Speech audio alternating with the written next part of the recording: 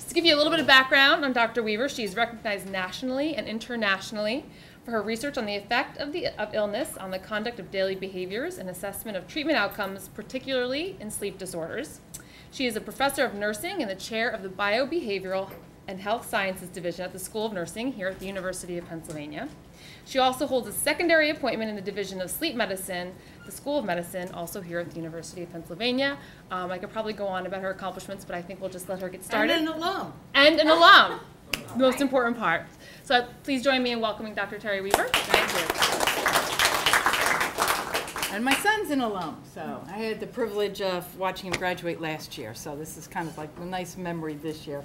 And thank you so much for taking the time to join me this afternoon to uh, hopefully gain a little bit of knowledge about sleep. There's so much we could talk about, so little time. Um, and of course, uh, you may not be aware that, um, unless you've had a sleep study, that there's actually a couple tests to assess sleep. One is they put you in a room, and especially in the afternoon, they turn down the lights and they see if you fall asleep in 20 minutes. So if I see you falling asleep, it's not because I'm boring, it's because you're sleepy. but hopefully that won't happen. But as, um, you know, with all good uh, courses here, I'm going to state my objectives.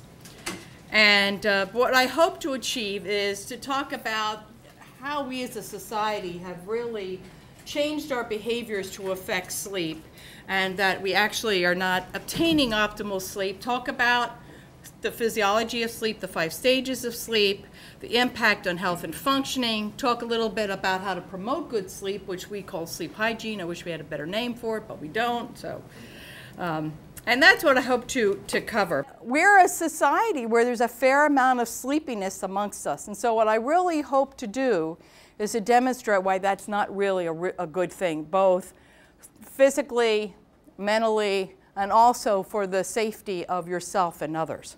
So let me back up and let me just give you another example of an everyday situation that occurs that demonstrates uh, some of the pressures that we're on regarding sleepiness.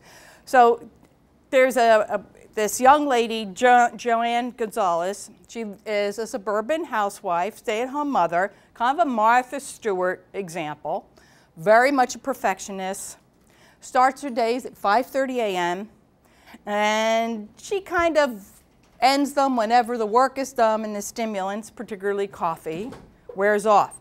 She gets up after awakening, she starts her first loads of laundry, sees her husband off to work, fixes breakfast for the kids, herds them into her Volvo, and off to they go to lessons and camp and after school activities. She, she comes home at night, makes dinner for the family, but nothing for herself. She's too busy, she's too harried, got to get the kids' homework done, got to get them into bed. So not until about 10 o'clock when everyone else has settled down and the house is finally quiet does she really get a chance to do any relaxation. But a relaxation really isn't relaxation. This is the opportunity to do things because the kids aren't around. So she mops the floor, she does her email, and so around 2 a.m. she crawls into bed and starts all over again. That's not good. We're in a chronically sleep deprived society. There was a wonderful series of articles in the Time magazine some time ago that really described this. And of course, it's interesting that um, Thomas Edison felt that he didn't really need sleep. He said, personally, I enjoy working about 18 hours a day. Besides the short cat naps I take each day, I average about four to five hours of sleep per night. And I hope by the end of this you'll realize that's not great. But the key is not that he slept so little, but he napped so much. And the reason he napped was because he slept so little. And who knows what he would have invented if he'd gotten enough sleep. He said, time is really the only capital that any human being has and the thing that we can least afford to waste or lose. And that may be true. But I also hope to convince you that sleep, like nutrition and other things vitally important to functioning, is something that we can't shortchange, that we will pay for it in, in the end.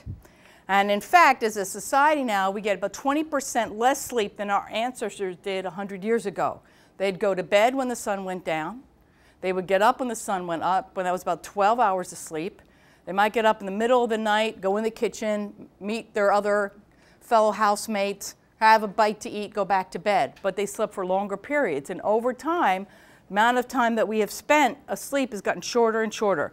And now in the electronic age, it 24-hour society, that, that we, we tend to do that even more and, and feel that it's a disposable, I call it the tossed necessity, or the disposable necessity. People think that we don't need it. And, and it is a sign and a badge of honor to say you only got three hours or two hours of sleep and you're doing really well.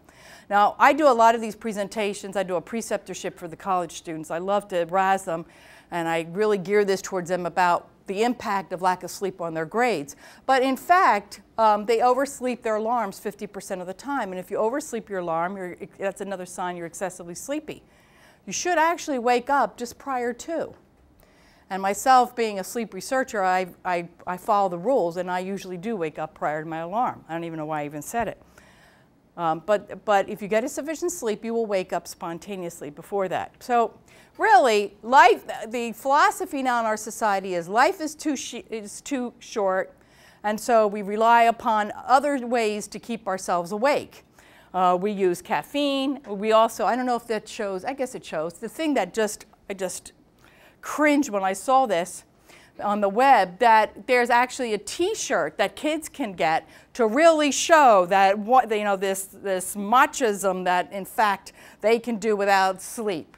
Um, and, and it's advertising um, something like Red Bull uh, that, that has a lot of caffeine in it and energizes you. When I was growing up, we all went to bed, and I'm sure several of you in the same case. Um, you know, when the, when the um, what did they call that? You know, all the, station, the, the test pattern came on. And we went to bed. I thought, why are my kids sleep, you know, up later? And, and I remember everyone as a family went to bed at the same time. I thought because because they're entertained, because there wasn't, there's no test pattern anymore. There's all these night late shows. Now there's what, three series of late? There's late, late, late, and late, late, late, and, and, and so there's constant entertainment. Um, and our kids are watching them too. TVs in the bedroom, computers in the bedroom, um, and, and of course just um, all this stimulation before going to bed. Uh, and of course, the, the end result is a society that is excessively sleepy, and I hope to show you why that's not a good thing. Now, this is kind of an interesting slide I borrowed from my colleague David Dinges. I have a number of his slides in here. And so, really, um, as we have light and dark, as I pointed out about our relatives in the past, it really shaped our genes, our biological system to be awake at a certain time and asleep at a certain time the circadian rhythm, which I'll, I'll share with you. But in fact, modern humans developed technologies that have really shifted that. And if you look at the area of the East Coast, you can see that it is dark, but it is not totally dark, it is light. That all those lights are on at a time when it should be totally black. Now, of course, as you look at other areas of the world, it is darker. Now, of course, it could be more sparse areas of the world. But in fact, when you look at this globally at night, um, which I'm sure astronauts are doing that now, that in fact there are a lot of lights on because we're still going, going, going instead of being in bed asleep. So, as I said, part of it is the availability. Star, it's all Starbucks' fault. They're the ones who got us in this. They're the ones who tempted us with those lattes. Um, but again, the drug of choice, um, Joanne Gonzalez, the example I gave you, was caffeine.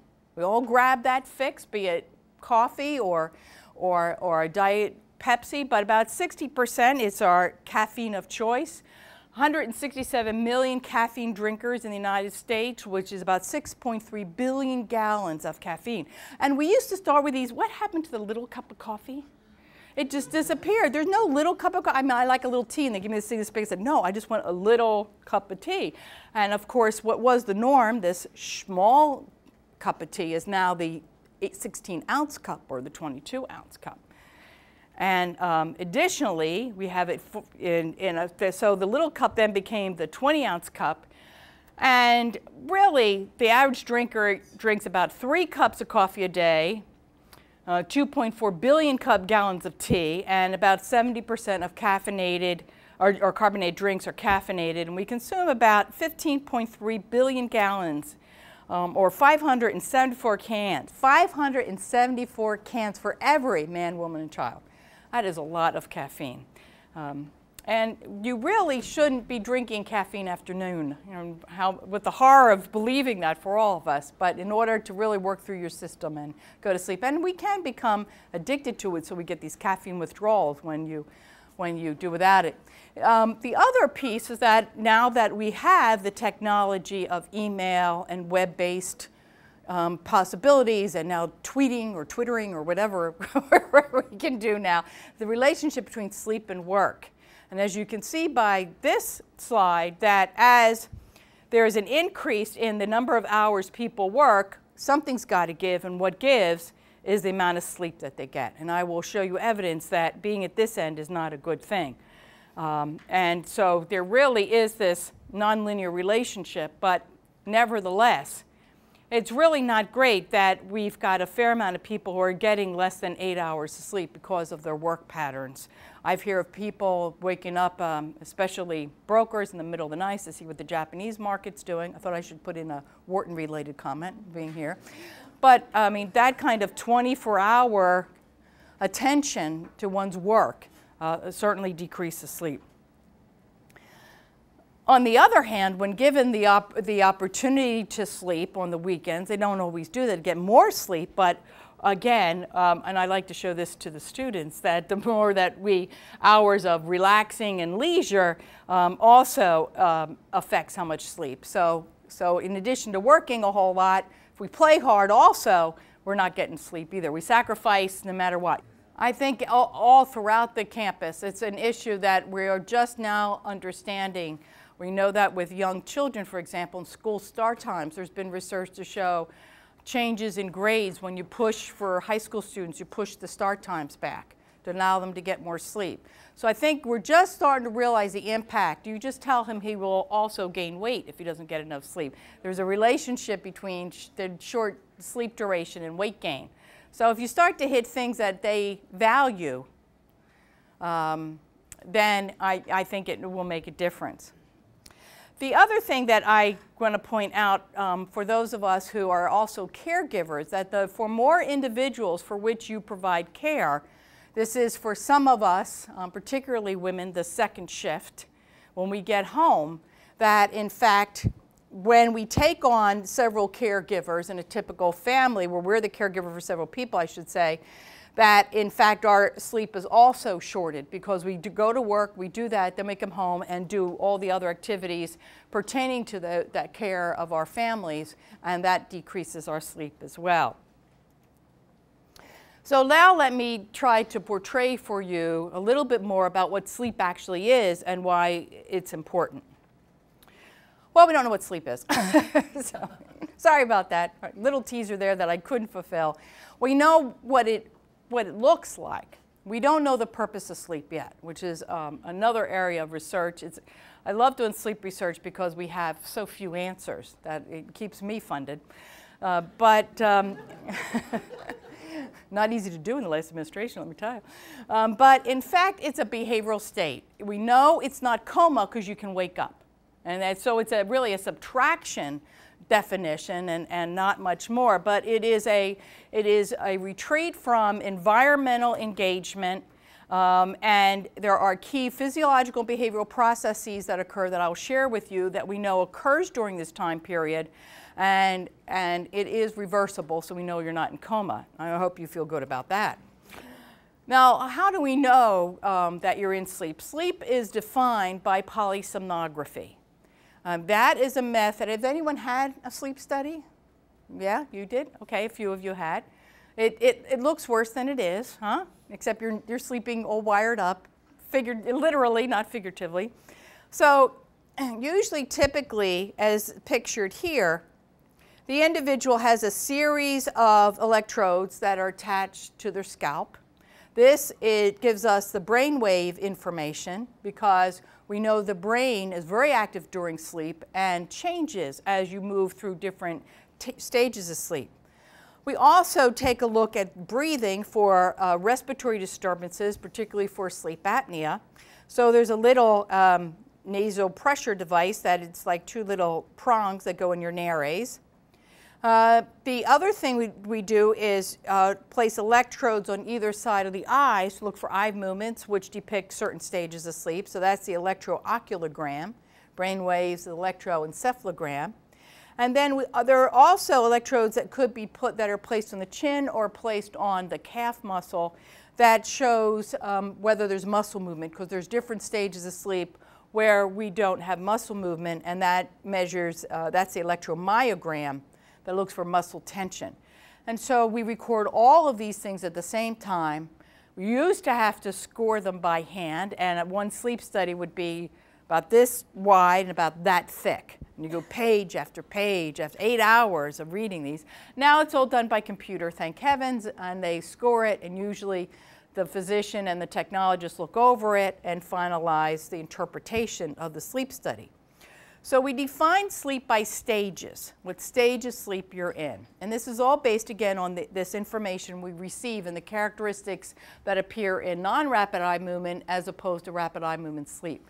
There are four stages of what we call non-rapid eye movement sleep, where we have no eye movements. I'll go into that a little bit more in a minute. And then rapid eye movement sleep, you might be familiar with, is uh, predominantly where we dream. Although you can have dream and non-rapid eye movement sleep as well, most of it is concentrated in, in there. And I said we differentiate that by the parameters. So you start out uh, moving left to right in the first stage of sleep. This is when you're first starting to go to sleep. It's a transitional and disengagement from the environment. You're just starting to doze off. You might still be aware. You might have some fragmented thoughts, a little kind of dreamlike kind of experiences. And your body starts to slow down. Your breathing starts to slow down. Occasional little muscle twitches. And it accounts for about 4 to 5% of your sleep. And of course, when you look at it, you see that the voltage on the brain waves is very low, but the speed is very fast. Okay? Stage two is characterized by two things. Stage two is characterized by these kind of funny looking waves called K complexes, or these funny looking things called spindles. So as soon as we see those, we recognize that you're into stage two sleep. Stage two sleep is a big chunk of your sleep, about half your sleep. It's where your, everything really does start to slow down, your breathing pattern, your heart rate, your muscle uh, activity. And we also um, are able to look at, for example, circadian rhythm because of body temperature, which also changes with sleep. And you begin to emit heat, your body temperature starts to decrease throughout the night, but starts around stage two. So stage three sleep and stage four sleep we kind of lump together. This is deep sleep. This is when the time when your body begins to regenerate, particularly physically. This is when growth hormone is emitted, a lot of other hormones are emitted, um, and we recognize uh, these two stages of sleep. Stage three, you can see that in fact the voltage is getting higher and the speed is getting slower. The brain is starting to wind down. And we call these because uh, we call these delta waves. So when we start to see these waves, we say you're in stage three sleep. And when they're more predominant, we say they're in stage four sleep. Well, this is really your deep sleep, very rhythmic movement, your body's very relaxed. And then, if you see, we move into what here is characterized as stage five, or rapid eye movement. So one through four is non-rapid eye movement, and stage five, that's where the action begins. That's rapid eye movement.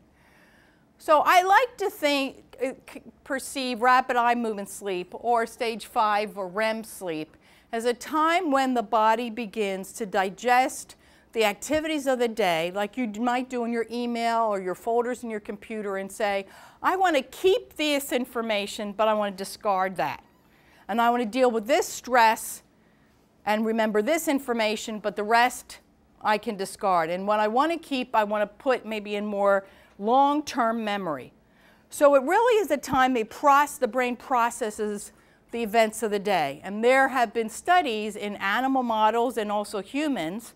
They had little rat rodents and they trained, you know, they, they put them in a maze and they see how they did with their memory. And, and really, the little mice that got more sleep did much better in the maze Also know this from a, a study in Germany on a mathematical problem.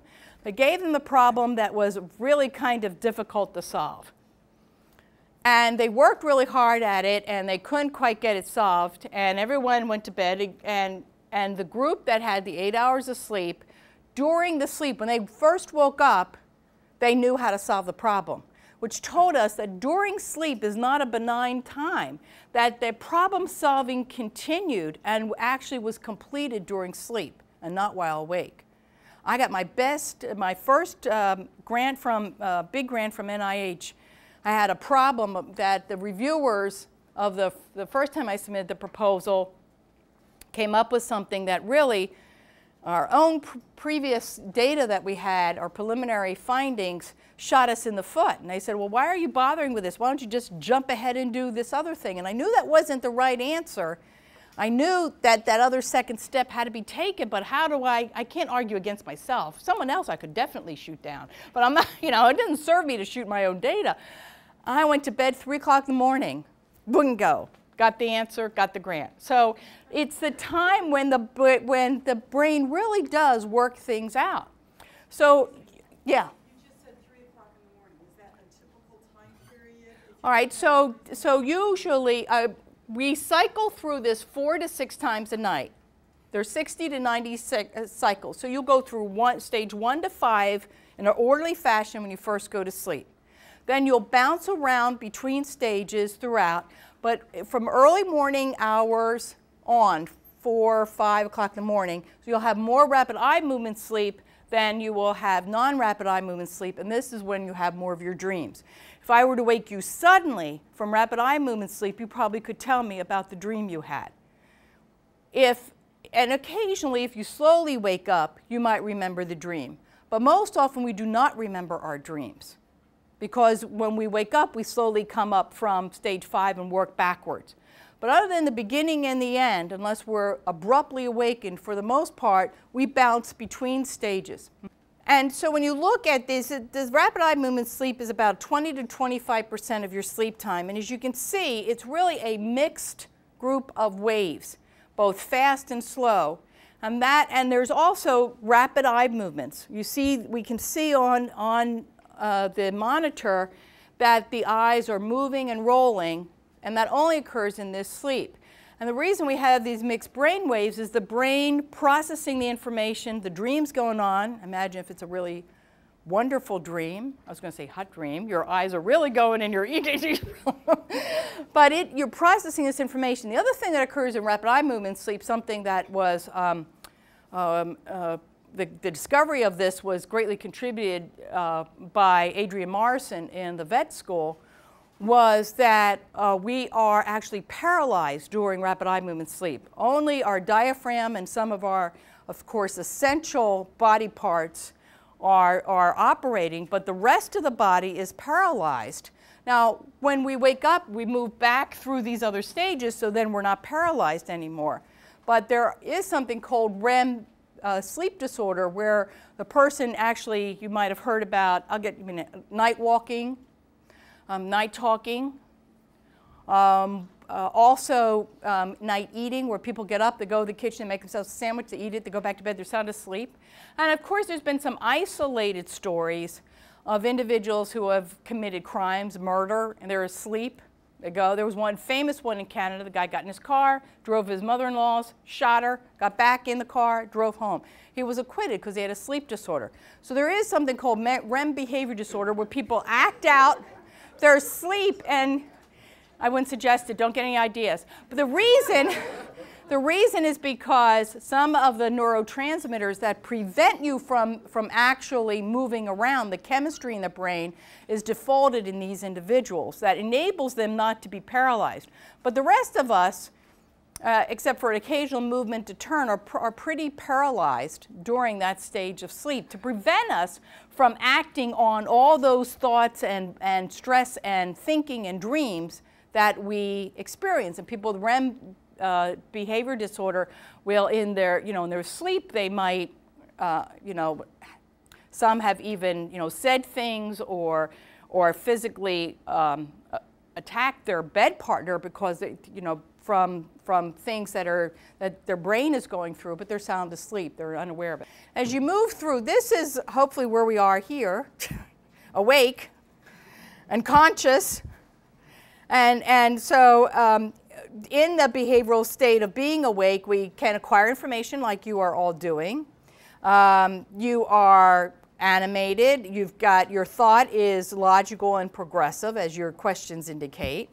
Um, your movement is voluntary, and this is what your, your EMG, again, that's the muscle, active, your EEG, the short, fast waves are indicative of wakefulness. That's part of the problem. If, if I were to look at an EEG without the eye movements, I could not tell whether it's an EEG of someone awake or an EEG of someone asleep. The only thing that helps, we're looking at the eye movements and the lack of muscle tone that occurs, which you see here. So maybe I should go across instead of down. So in wakefulness, the cognitive experiences is you're gaining information. Here, you've got some processing of information. And in REM sleep, as I said, that's where we start to toss and, and keep information. So it's the integration of information, the meaning of information, and that's where the dreams are associated. The, con- the sensation then is interaction with the environment. Here, of course, it's, it, it, you're, you're withdrawing from the environment, so it's more dull or absent. Here, it's again vivid, that relates to the dream, but it's internal. It's not in relationship to the environment. Um, thought is logical here. It's um, less so in non-REM sleep. And then it can be illogical and bizarre. And that gets, again, to the dreams. Movement is voluntary. Here it's episodic. That might be the, uh, you can have dreams at any parts or fragmental thoughts during different stages of sleep, although predominantly non-REM, and you can have some leg movements. Um, or, you know, you're, you're, you're turn, getting yourself into a different position. But as I said, that when you get into non-free, it could be commanded, but it's inhibited. And that's the subtle difference. In REM sleep, we have the neurotransmitters that, that say, don't move and make us paralyzed. But in some in parasomnias, which is a sleep disorder, that doesn't happen. And that's what gets the sleep talking and the sleepwalking and things that should be inhibited, but, but they're not.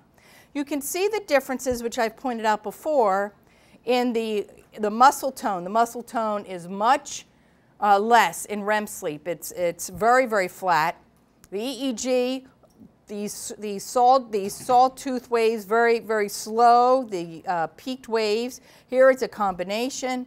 And then eye movements uh, are occurred. This is an eye movement during the wake not at all during non-REM, and then you see them again during REM sleep. So we look for this, and we look for this, because this looks just like that, so we don't know if it's awake or asleep, and we say, aha, they're in REM sleep. Um, and those of you who have animals, they pr produce this kind of funny thing on um, EEG. But then here are some, this is norepinephrine and serotonin 5-HT, and you can see that REM is off, as and your eyes are open or moving or as we get to REM more rapid.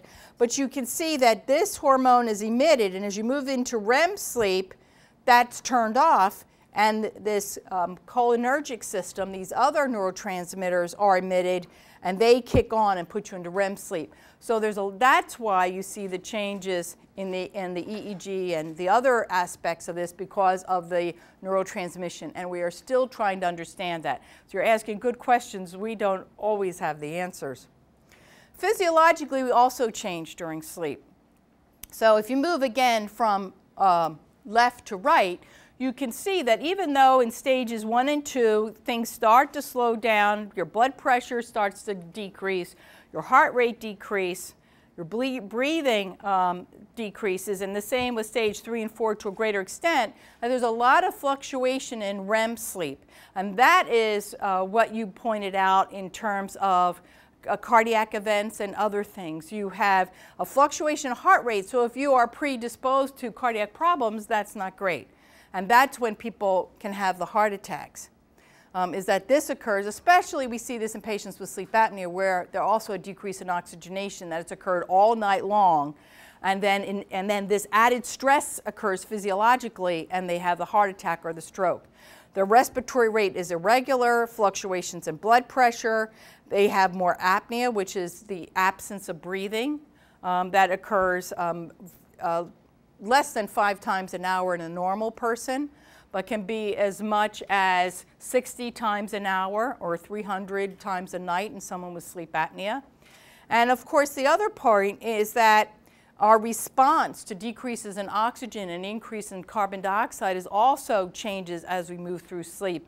And it's more blunted, so those people with asthma or pulmonary problems will have more difficulty um, when they wake in the night. We also clear our secretions less. So in the morning, you might have more difficulty breathing than you would when you went to bed. Question? All right. And this was a question I think someone asked, and that your Alzheimer's question try to remember the question, is that as we age, our sleep also changes. There is more difficulty um, getting to sleep, so you get more stage one and stage two, uh, less stage three, four sleep and REM sleep, and there's also more difficulty maintaining sleep and a lot of early morning awakenings. In Alzheimer's patients, they, we're going to talk about this a little bit more, there's a shift in their normal rhythm, so they tend to wake up earlier and, um, and have more fragmented sleep. So as you get older, these are the stages of sleep. These are the hours of sleep. You see a normal adult, this is the moving through the, the stages of sleep we talked about. This is called a hypnogram, the plotting of the sleep. And as you can see then, they, there's this movement through the stages. And then as you get towards the early morning hours, which was your question, I think, you can see you get more REM sleep and less of the, and, and deeper stage uh, three, four sleep that occurs um, in, in these hours than previously. Does that help? And, but in the older person, there's more disruption. That doesn't mean this occurs in everybody, but the tendency is that um, there is less sleep consolidation um, than, than normal. Um, and we don't know if that's okay or not. It may be perfectly fine. So I don't want you to think, oh my gosh, I'm older, my sleep is terrible, and I'm not going to make it. Uh, that's not the case. We just don't know. We also know older persons are less or more resistant to sleepiness. So we don't know the meaning of these things. We just know that they occur. Now, that brings us to, again, answering the questions about the other piece of sleep, beside the stages of sleep, which is a circadian rhythm. So we have rhythm. And I like this cartoon because if you've ever had a teenager at home, back to that other gentleman's question about getting his kid to bed, is that they're on a total different time cycle than the rest of us. And um, I, there was another cartoon I, I meant to scan where the, it's you, the, you see it's a classroom, you look out the window and it, the moon is out and the teacher's got this chalk on the board and he's falling asleep. And, the, and the, the teenager in the class, he says, you know, algebra makes a lot more sense at this time of night, you know. and, and that's true here. Here, the, the kid, I remember doing, I remember summers like this, oh my gosh, where, where she makes a big deal of the fact that he's finally up and it's noon. And she says, What's the big deal? You made it for lunch at last, you know? Bring in the news people, send over a crew. He's awake. And of course, the kid responds by saying, It's not summer unless your mom is ragging on you about your sleep habit. And that's true. I remember having, I have two sons at home, you know, asleep when I, you know, they're still asleep at one, two in the afternoon. It's like, they have breakfast at two. They come in and they raid the lunch meat. That's where I was like, oh gosh, you know, what have I done? But part of it is um, related to this rhythm. So on, on the left is our, this relationship between sleep need and the normal rhythm. So in fact, we have a normal process, which is you see that sleep, the red line. That is, and I hesitated to lecture at this time of day. This is not a good time of day. You see, as we hit the circadian dip about this time of day, which is right here, and you see the time, you look at the clock, and this is not good. I don't teach in the afternoon for that reason. No, I actually do, but it's with great trepidation because we have two pushes for sleep. One, as you can see here, it starts about, about 8 o'clock, about, about 7 o'clock, uh, melatonin is excreted. It starts, melatonin doesn't produce sleepiness. It starts the whole cycles of chemical changes that promote sleepiness. We start to settle down and all those changes that I mentioned. We go into sleep, that urge is still there, and then as we get towards the morning and we replenish that urge, then, then we start to move towards wakefulness. And it's this balance between the urge to sleep, the, this, we call it sleep pressure. So this is a normal rhythm. And you can see that, that as the, during the day, the sleep need, need builds, and it corresponds then to the circadian rhythm. And as I said, we have this, this not only the nighttime need to sleep, but a dip in our urge to sleep about this time, the siesta time, where a little nap would be a good thing, where we get a little bit more sleepy. And I know if I hang in there till 6 o'clock, I bounce back up and I'm ready to go. It does correspond, as you can see, to body temperature. So that's why how we plot circadian rhythm is with temperature, and it corresponds beautifully. People who are, because we, our rhythm is not only based on our biological clock, there is an area in the brain called the suprachiasmatic nucleus, it's in the hypothalamus, where the major clock is, although in all the cells, there are clocks. And not all the cells, I should refer, there are cells that are also have clock properties of timing of things. But that is, is one of the major areas. It does start to lose some of its cell and capacity as you get older. I think that's why I don't respond to jet lag like I did when I was older. That's a good thing because my clock doesn't know what, I was in Vancouver yesterday, it doesn't know what time I'm on and it cooperates better that way. Um, but people who are blind, their rhythm moves every day because they, we also not only have the clock, but we use light entrainment to center the clock for the appropriate season and time. And so um, unlike animals that just use light, we use a combination of light plus inherent rhythm. But as I said, someone who's blind, they don't have that. Or someone who's, in, we know in community dwelling elders who are in the house a lot, they don't get enough light to keep their rhythms. And that's part of the problem, especially with Alzheimer's.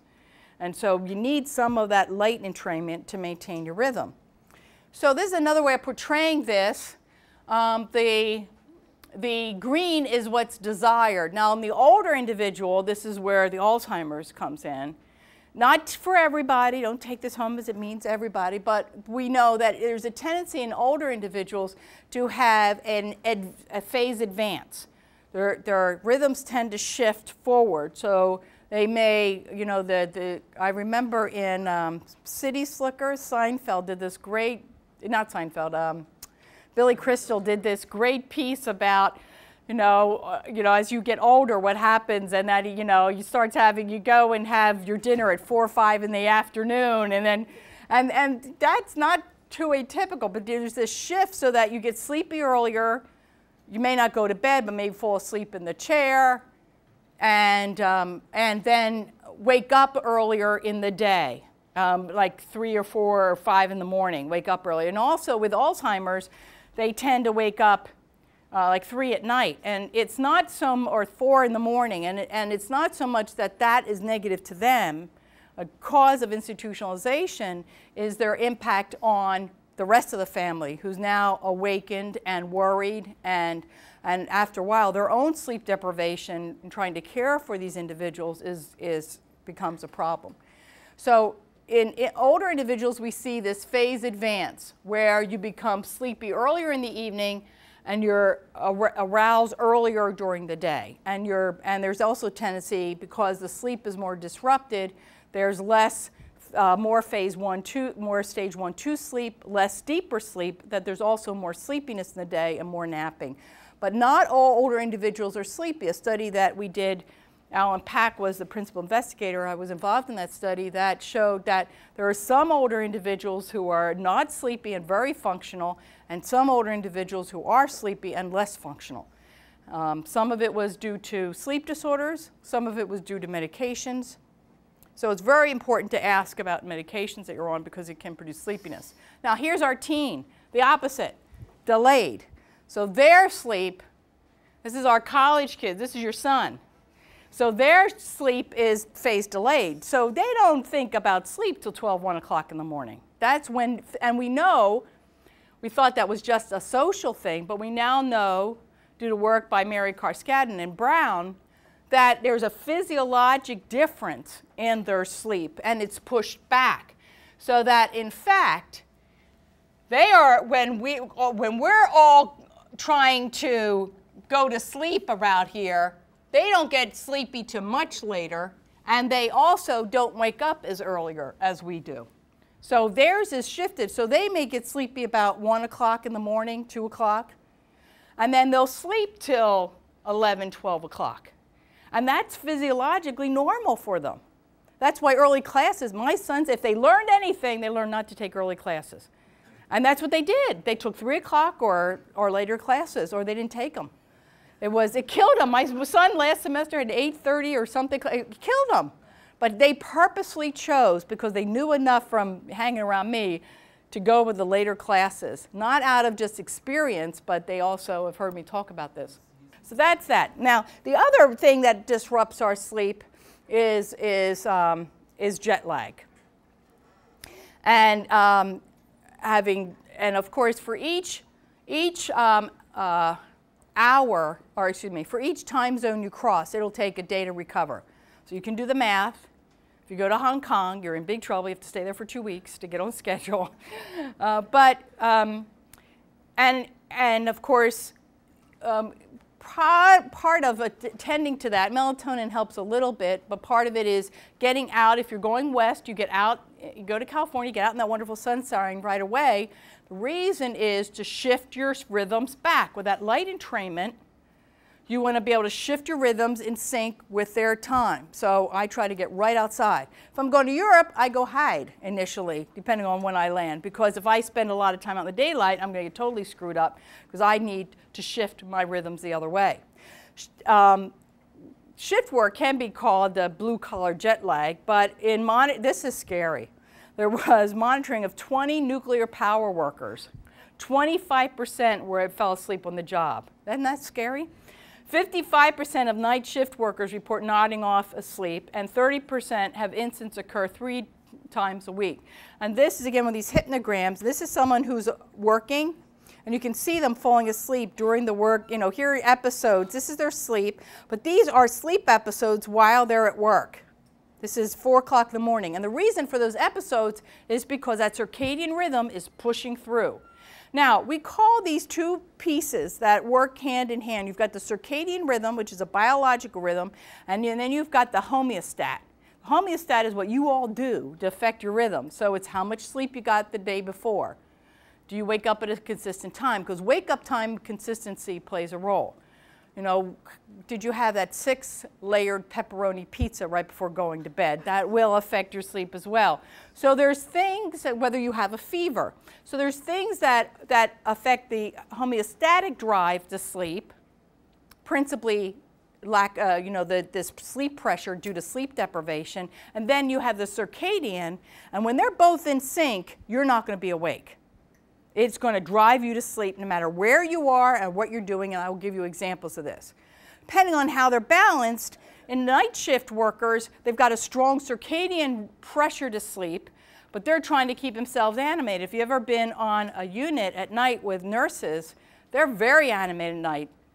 They might play the music, they talk a lot, and they eat. And the reason is to keep themselves, uh, they self-stimulate to keep themselves alert. So what's the answer about how much sleep you need? Here is some data um, that shows what happens when these are, this is the test I mentioned, the multiple sleep latency test. This is how fast can you fall asleep.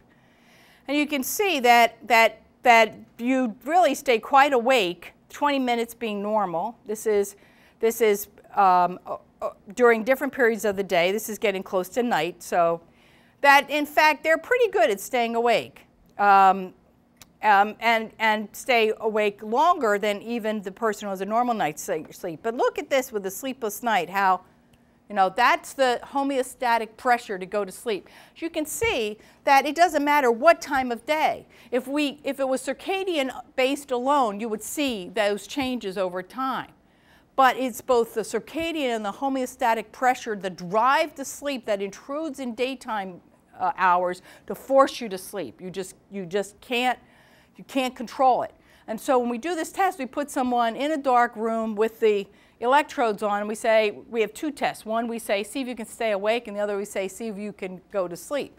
The one where we say, see if you can go to sleep, if you do it in less than 10 minutes, you're excessively sleepy. And you can see that these people, after a sleepless night, were very sleepy.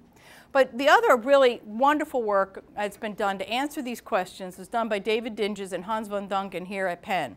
David's in the School of Medicine. He's an experimental psychologist.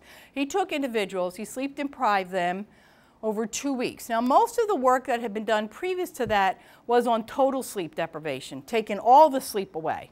But what he did, he says that's not what people do, except for teenagers on or college students on a regular basis. Most of us get partial sleep deprivation. We're sleeping five, six hours a night, and, and we do it day after day after day, then what is the cumulative sleep debt that occurs? What does that do? And, and so this looks like a busy slide, but just hang in there for me. This is a cognitive behavioral test. In this test, we give you a symbol or a number, and you have to match it. There's about 90 on the page and give you a minute and a half to do it. All right? Pretty simple. So if I give you a 1, you would give me, you know, the 10. If I give you the 10, you would write down the 1. So it's either all numbers and you have to match this, do the symbols or all symbols and you have to put the number depending on whether we're doing it on the computer or not. So these are three groups of individuals. One group got four hours of sleep for two weeks. One group got six hours for two weeks. And one group got eight hours for, for two weeks. And of course, in this test, the higher the score, these are the number that they got correct, in that minute and a half. You see that there's a learning curve with this test, that they get better and better at doing it. And so you can see that when you look at this, this group, that they actually did better and better over time. These are the eight hours. Now you can see that over time, the group that got four hours of sleep really started to do a nosedive. Now you might say, of course, they only got four hours of sleep. And there was a statistically significant difference between those who got four hours and those who got eight hours. But the scary part was, look at the six hours.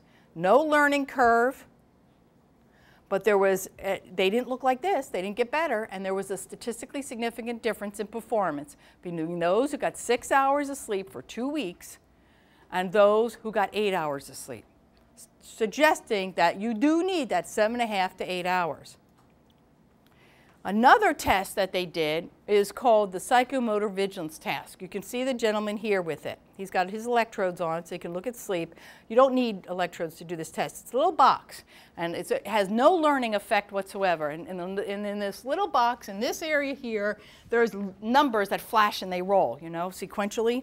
And as soon as you see them, you have to push one of the black buttons one button if you're left-handed, one button if you're right-handed. So you hold this thing and you wait. It's a 10-minute task.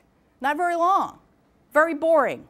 So we can unmask sleepiness for a, with a very boring environment and a very short task. Doesn't take much. And as soon as those numbers flash, they have to respond. And you can see that over time, the eight hours did really well. And when they fail to respond, we call that a lapse, a lapse in attention. So this is a sustained attention task. Look at the six hours. They get worse and worse and worse and worse. They've got a lot of lapses. A lapse means the numbers were there, but they didn't respond. They just totally missed it. Four hours worse, and this what happens with no sleep at all. So not only can you not process information, you also can't sustain attention, which we think is really the fundamental basis for problems with sleep deprivation, is the inability to maintain attention. That affects your memory, that affects your performance. So what happens when we don't get sleep? I'm going to show you examples of this. It affects sleepiness, it affects your mood, both ways, more irritable as also more depression, and we know from recent evidence that short sleep duration is associated with obesity, it's associated with diabetes, it's associated with cardiac events. Now, see if we can, if I can explain this to you. When you don't have a lot of sleep, with a high level of motivation, you're able to perform. And that's where to some students, you know, they think, I'm fine, there's your son, I'm okay. You can perform. Sleep does not affect your hearing, it does not affect your vision, it does not affect your motor skills. You can still do all those things in a short period of time. But when I ask you to perform that task, if you're motivated in a short task, you can do it. However, if I prolong the task and I, and I really thrash the brain to work optimally in a very boring situation where there's nothing else to stimulate you and to sustain your attention, your attention you're going to fall asleep. And so the effects of sleep loss permeates performance and both um, all cognitive and sustained attention tasks. And when I say the, this highfalutin term, sustained attention task, what does that mean? That means you're, you're going to crash your car, is what that means.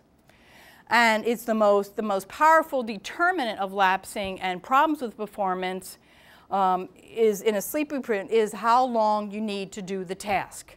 The longer the task, the more I'm going to unmask, as we call it, and show your sleepiness because you won't be able to keep it up. You could do it for a little bit, but not. So after about 18 hours without sleep, you can give your son these facts. Reaction time begins to slow from a quarter of a se second to a half a second and then longer. You can't, you can't make it go. You, you miss. You take longer to respond. Then what happens, you asked about what happens in the cell. What happens, I can't tell you in the cellular level, um, uh, but we know that in a larger level in the brain is that um, the serotonin and, and other of those neurotransmitters I mentioned start to activate. And when they begin to activate, they intrude during sleep. So even though you could be at a circadian phase, which is the morning and you're supposed to be awake, if your sleep pressure is high enough, it will create a situation where those neurotransmitters kick in, that flip is switched from awake and alert to sleepy, and sleep will intrude into the daytime, and you get these micro sleeps anywhere from 2 to 20 seconds where your eyes are open, you think you're awake, but you are not. Have you ever driven somewhere and then you're not sure how you got there? Yeah. Since we know that sleep uh, deprivation is detrimental, could you, before the session ends, tell us some ways to promote? Yes. So let me move along so I can do that. So the other thing that to bring it home to your son, ask him if he'd go out and get drunk and drive, or go out and get drunk and go to class. He'd probably say, of course not. Well, maybe he did say that. But reaction time is roughly the same as someone who's had 18 hours of sleep deprivation, the reaction time is the same as someone who has a 0.08 blood level, which would get you arrested in most states for driving under the influence. So there's been tests done where people drive through cones, sleep deprived, and those who have, have, have been drunk, they had no problem getting people signing up for the drunk part. They found that, in fact, the performance was the same. All right, so what David says is that with two nights without sleep, your performance dramatically decreases and you essentially fall off the cliff. You just cannot maintain alertness. So let me explain. Oops. Oh, stop, stop. All right. So this is uses an EKG. Are we okay? I know we're running close to time. Or we're, we're so so an EKG. We just did this for David did just for visual effect. So this is um, uh, the sound of someone performing that test, the PVT and listen to the cadence of the response. Every time you see this, they've responded to the light, okay?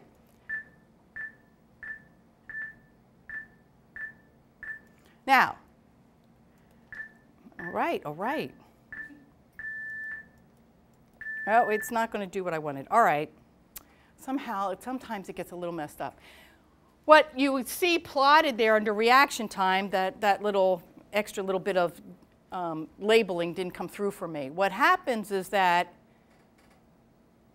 then the, the, the performance is stable and reliable. You heard it. It was pretty much like a cadence song, right? So now here's someone who's had um, total sleep deprivation. Not doing badly. Getting worse.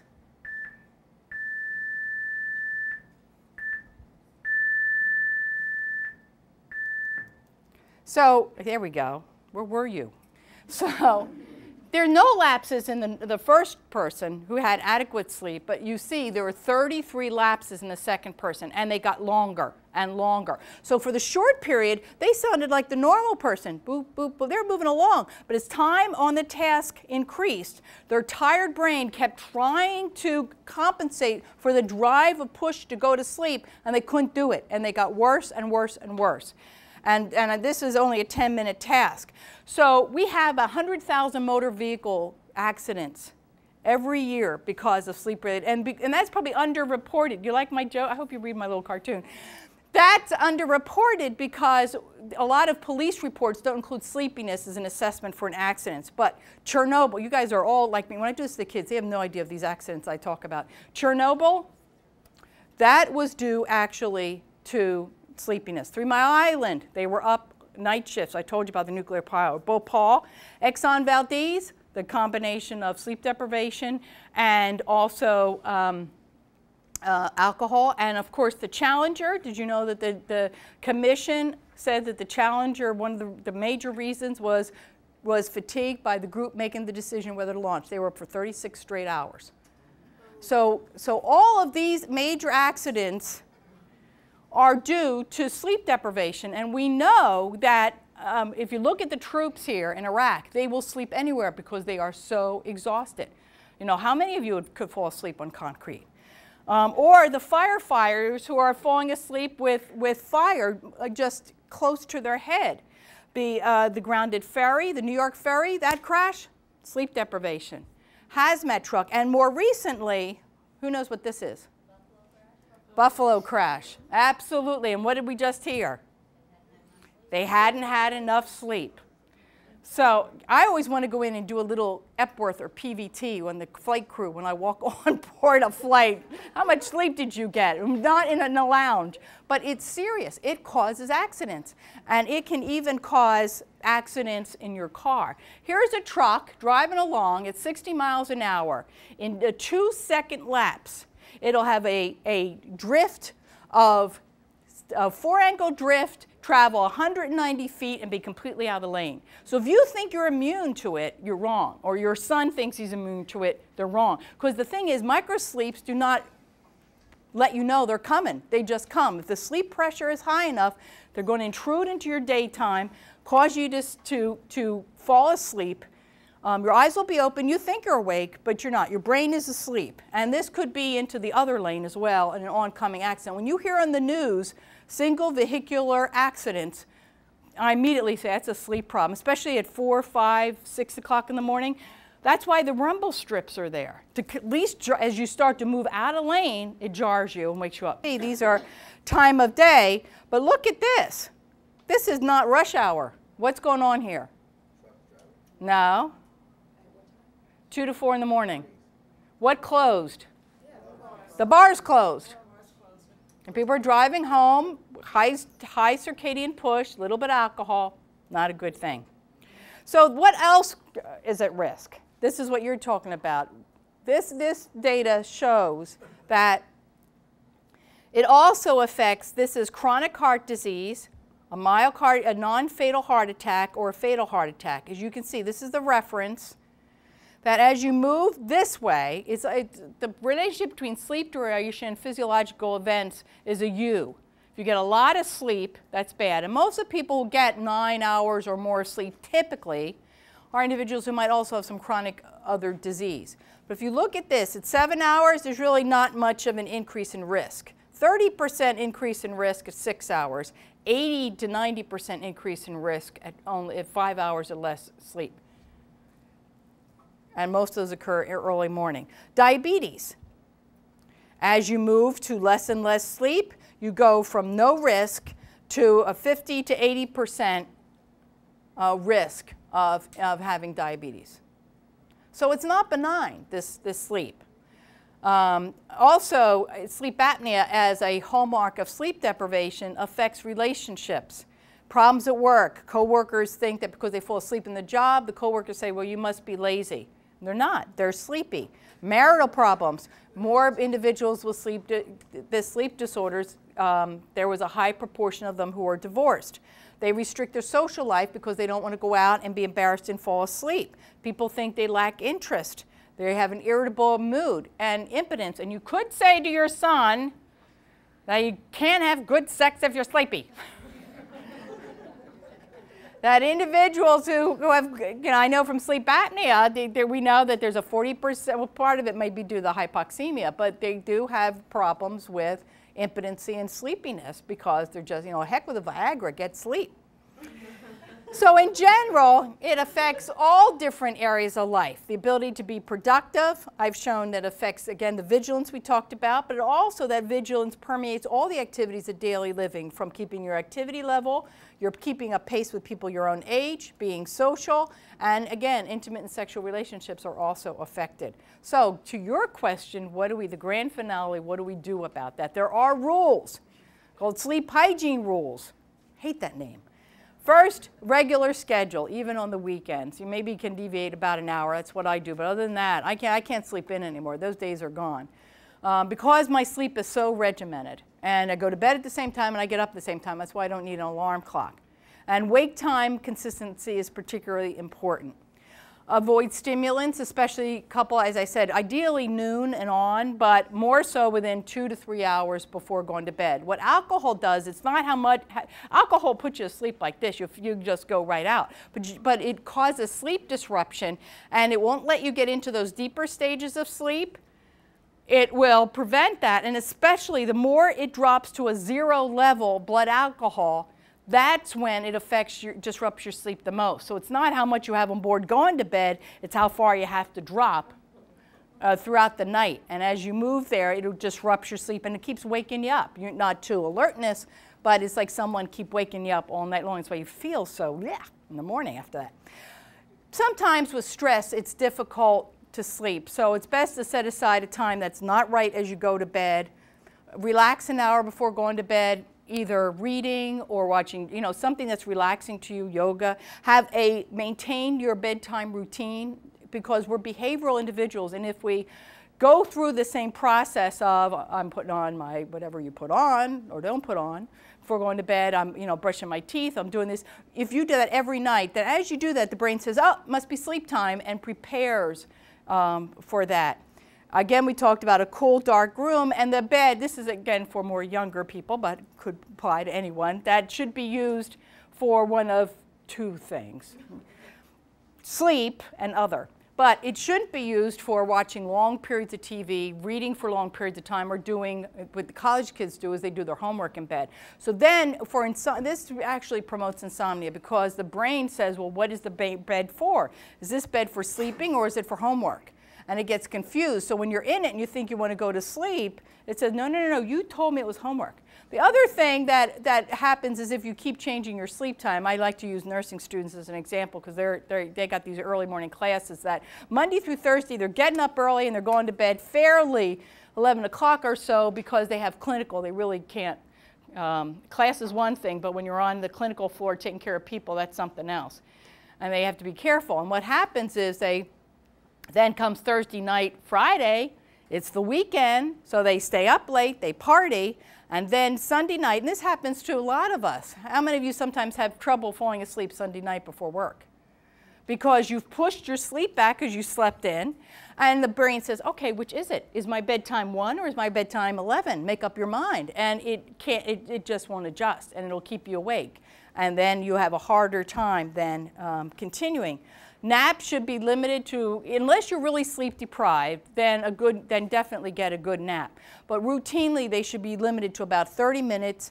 The pizza refers to the decrease in GI motility um, when you're asleep. So if you have that big, reminds me of that, you know, those pictures of the snake who ate that big rodent, it's sitting right in the middle. That's what it's just sitting there doing nothing but reminding you on a regular basis that it's there.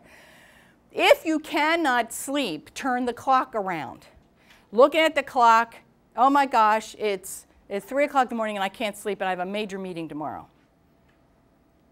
Oh my gosh, it's 3.30 and I can't sleep and I have a major meeting tomorrow. oh my gosh, it's four o'clock and I'm still awake. That just increases the anxiety and the adrenaline, and it will keep and it will promote alertness. You want to turn the clock around, do not look at the clock. And, and it usually takes 15 to 20 minutes to fall asleep, and you will fall asleep. If you're, the best thing if you have trouble sleeping is get out of the bed. Don't stay in the bed. You don't want to associate difficulty with sleeping with a bed. Get out of the bed, go read, go get a little bite to eat. Little bite's okay if you're a little hungry. I always wake up hungry. Get a little bite to eat. You go to bed, that break is enough, you'll fall, you'll fall asleep. And I think there's just some website information about where you can get more information on sleep. Um, NIH has public access, the American Academy of Sleep Medicine as well. And um, NAPS is a wonderful area, and the National Sleep Foundation. Thank you. You have been a wonderful audience. Appreciate it.